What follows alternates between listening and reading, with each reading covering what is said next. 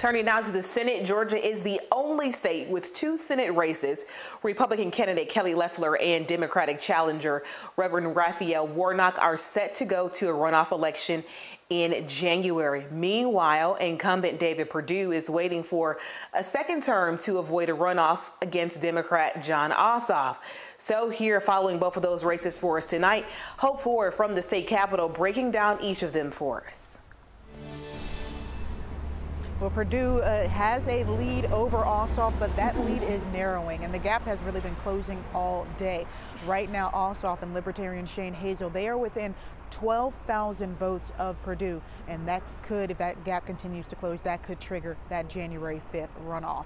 Now, both campaigns have been pretty quiet all day, which is a little bit different from the rapid back and forth we've seen from them in the past few weeks and months.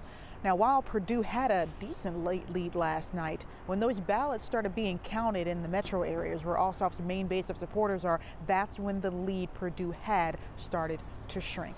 Now on to the Warnock-Loeffler uh, race. It is now a one-on-one -on -one battle after 19 candidates were eliminated. They were the only ones in that race to each receive over a million votes. So you can kind of see the, you know, the, the, the popularity come through there.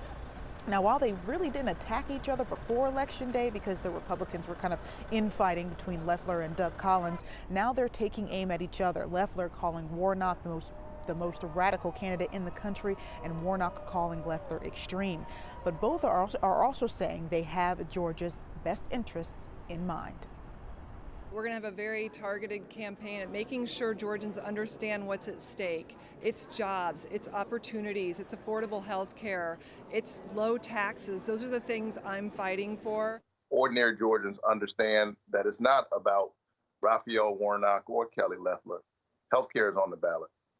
a livable wage is on the ballot uh, voting rights is on the ballot. Lots of campaigning for War Warnock and Loeffler, and now we will wait to see if Perdue is going to keep his lead and keep his seat, or if it will be round two for him and Ossoff as well. Jeff? All right, Hope, thank you.